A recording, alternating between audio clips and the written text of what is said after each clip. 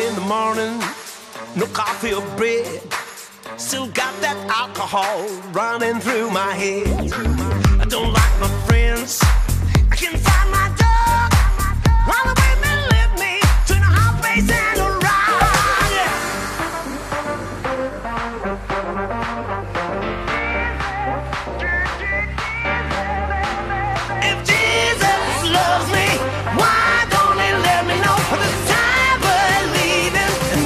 more you can show.